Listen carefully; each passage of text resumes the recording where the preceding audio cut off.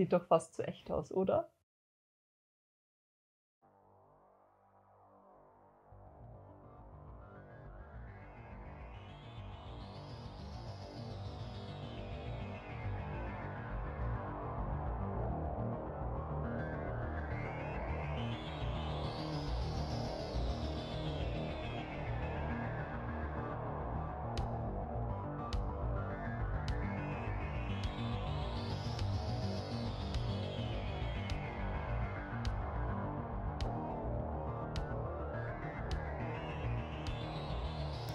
Hallo und herzlich willkommen zurück zu einem neuen Video von uns. Schön, dass ihr wieder mit dabei seid. Alle Netflix-Schauer unter euch haben es sicher schon mitbekommen. Stranger Things kommt heuer endlich zurück mit Staffel 4. Und wir beide können es kaum erwarten, diese doch etwas gruseligere Serie wieder zu verfolgen. Und haben uns gedacht, anlässlich dieses großartigen Events und dieser großartigen Neuigkeiten können wir doch ein passendes DIY machen. Und was wird sich für Arthur nicht besser eignen als ein gruseliges Demo-Dog-Kostüm? Ich hoffe, das spricht man so aus. Wir wissen es nicht so genau. Auf jeden Fall, ich meine, diese gruseligen Kollegen hier, die doch auch ein wichtiger Teil vor allem der letzten Staffel noch waren.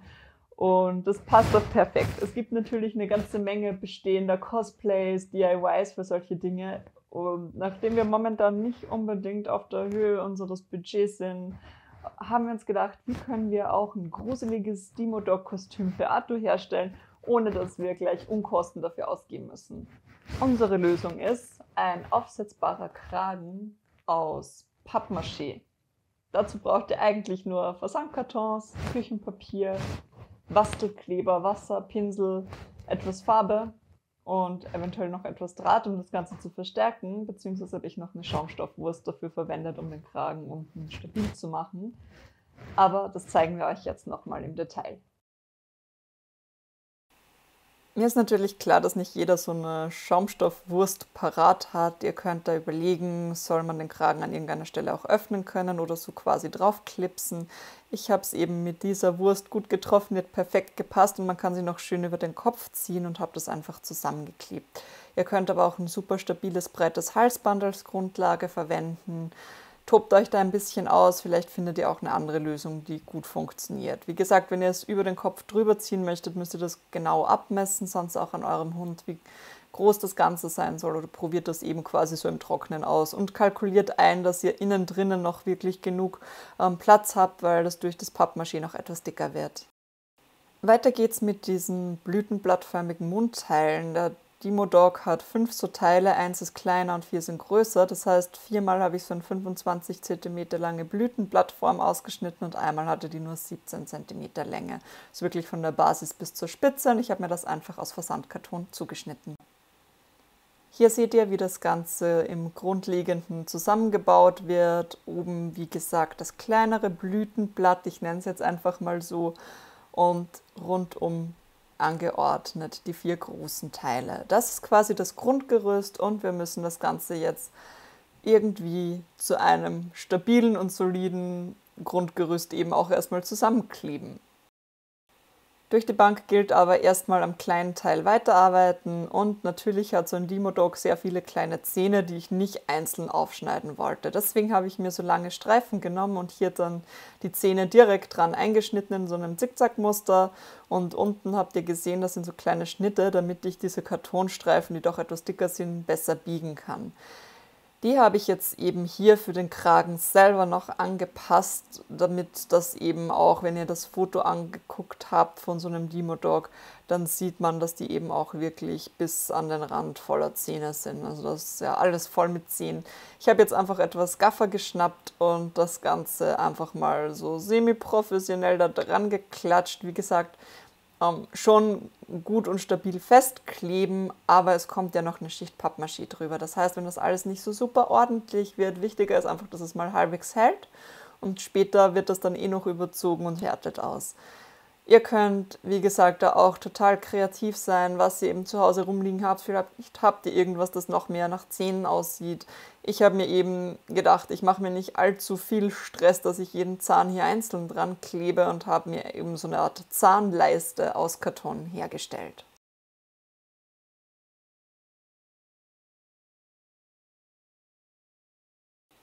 Aus diesem Grund ist es auch super wichtig, dass ihr eben beim Ausmessen berücksichtigt, wenn ihr eben sowas wie die Zähne hier noch dran kleben wollt.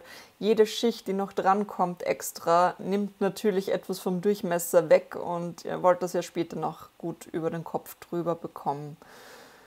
So, ich bin ganz zufrieden. Jetzt geht es an diese Seitenteile, an meine sogenannten Blütenblätter. Ich werde es jetzt auch weiterhin einfach so nennen.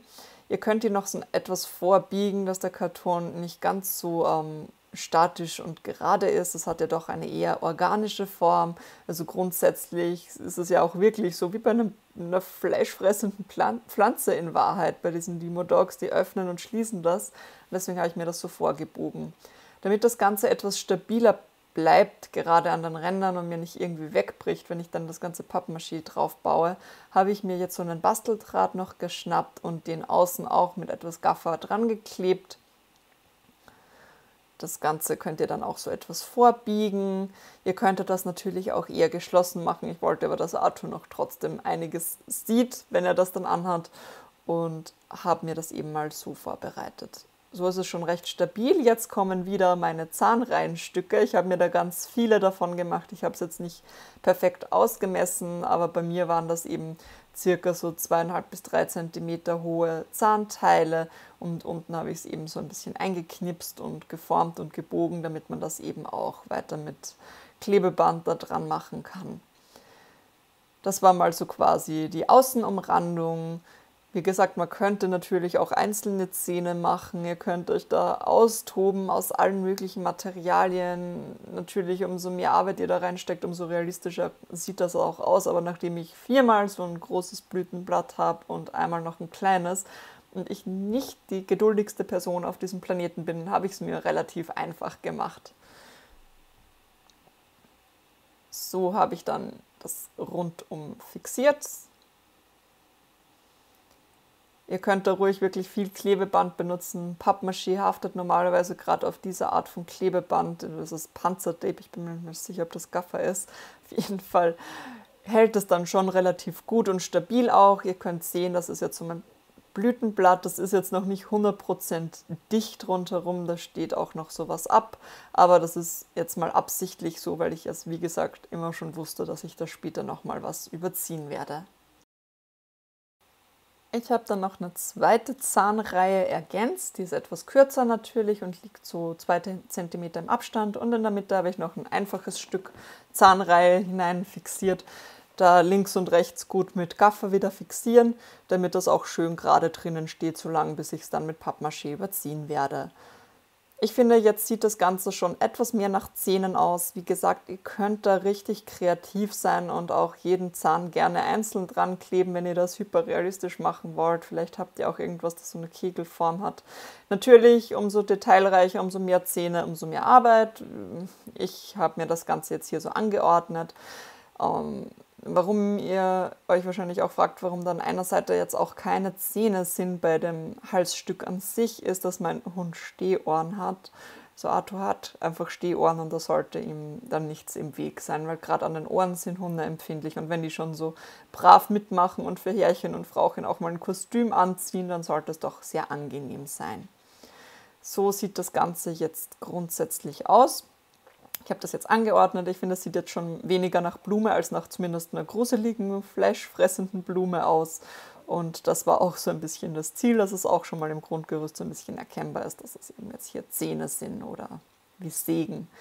Jetzt klebe ich die einzelnen Blütenblätter einfach wieder mit Gaffer dran. Hier ruhig nicht sparen, dass das mal so halbwegs stabil ist und das Grundgerüst mal halbwegs solide zusammenkommt.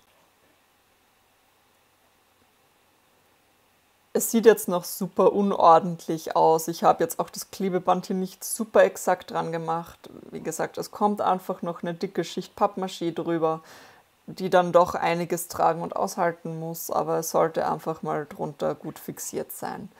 Und da sind wir jetzt auch schon. Ich habe am Anfang noch einen Teil von so Verpackungspapier verwendet und etwas zusammengeknüllt, um gerade hier diese Übergangsstellen von dem Halsstück zu den Blütenblättern etwas damit zu verstärken und habe das auch schon hier mit Bastelkleber Wassergemisch, was man eben klassisch für Pappmaché verwendet. Ihr könnt das übrigens auch umweltschonend aus Mehl herstellen.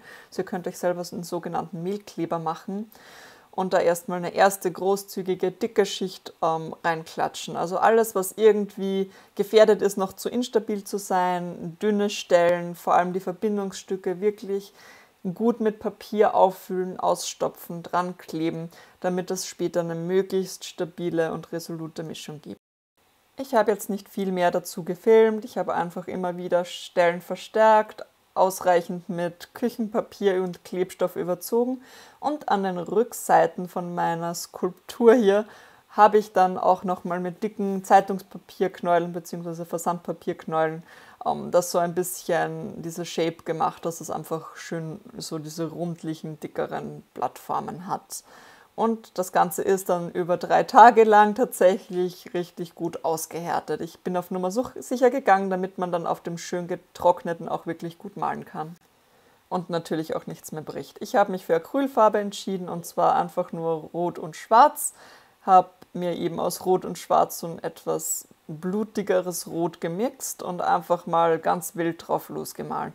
Hier könnt ihr euch wirklich austoben. Ich habe mir einfach ein Foto als Vorlage verwendet und dann habe ich gemalt. Das hat auch eine Weile gedauert.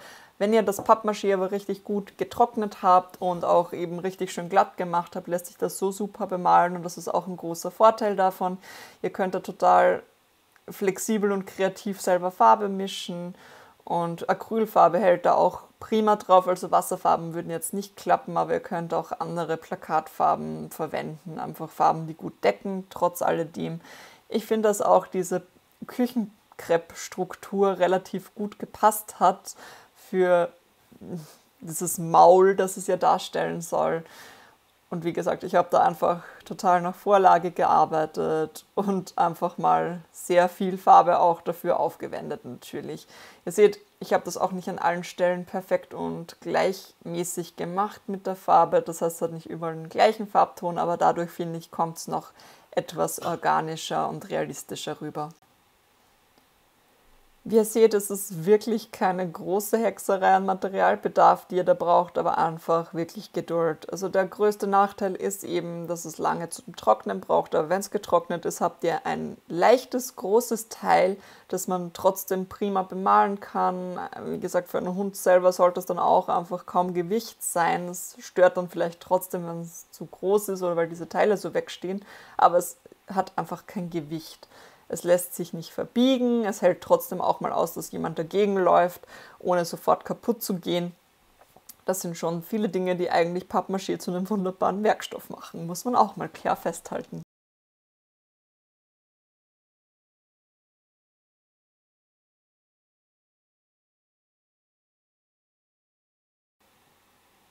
Ich habe mich, wie ihr sehen könnt, stundenlang gefühlt ausgetobt an dem Teil, habe dann immer mehr Details hinzugefügt, geschaut, dass die Zähne deutlicher rauskommen. Es war ganz schön viel Arbeit, muss ich ehrlich gesagt noch mit eingestehen. Ich habe auch dann noch weiße Farbe hinzugenommen, um die Zähne nochmal im Einzelfall etwas mehr zu betonen oder wo das Pappmaché zu dünn geraten ist, alles dann noch ein bisschen ausgeglichen. Ihr könnt da wirklich so viele Details dazu malen, wie ihr möchtet und ihr seht, ich habe mir echt viel Zeit genommen dafür. Das heißt, das Video ist eigentlich super kurz geworden. Auf der Rückseite, nachdem alles gut getrocknet ist, habe ich dann natürlich weitergemalt und habe da auch ähm, die Farbe etwas verdünnt mit Wasser und so ein paar kleine Äderchen ergänzt. Ich finde, auf einigen Fotos aus der Serie sieht man auch richtig gut, wie das im geschlossenen Zustand aussieht, beziehungsweise es eben eigentlich die Hautfarbe eher so wirklich ganz blass und weiß ist und gräulich eigentlich und habe das auch so versucht ein bisschen nachzustellen. Aber ihr könnt es im Prinzip auf der Rückseite auch einfach weiß lassen oder komplett grau anmalen. Ich habe dann auch noch so ein paar Sprenkel am Ende ergänzt mit Farbe, damit das wirklich auch so diese Optik hat wie auf den Bildern. Im Intro habe ich euch ja schon gezeigt, dass es offensichtlich geklappt hat und hier seht ihr jetzt Arthur nochmal bei normaler, schöner Raumbeleuchtung mit Special Effects Saba, die er selber beigesteuert hat hier.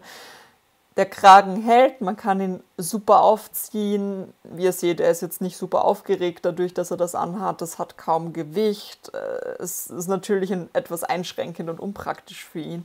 Aber es hält, es ist stabil, es sieht eigentlich einigermaßen cool aus. Zumindest bin ich persönlich zufrieden dafür, dass wir hier wirklich eigentlich keinen Cent dafür investiert haben, sondern altes Verpackungsmaterial recycelt haben.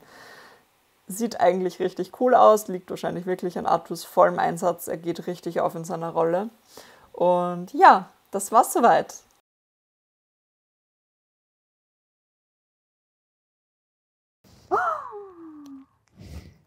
Sieht doch fast zu echt aus, oder? Dann würden mein kleiner, gruseliger Demo-Dog und ich mal sagen, danke, dass ihr dran geblieben seid bis jetzt und danke fürs Zuschauen. Lasst uns gerne mal wissen, ob wir vielleicht noch eine andere Serie bedienen sollen oder uns irgendwas dazu einfallen lassen können. Beziehungsweise vielleicht habt ihr auch noch andere Ideen aus dem Stranger Things-Universum, quasi irgendetwas, das wir nachmachen sollen. Wir können uns auch voll im 80s-Style verkleiden das nächste Mal. Wäre vielleicht auch noch eine coole Idee. Und wir sehen euch hoffentlich bald wieder zu einem neuen Video von uns. Macht's gut und schaut gerne wieder rein.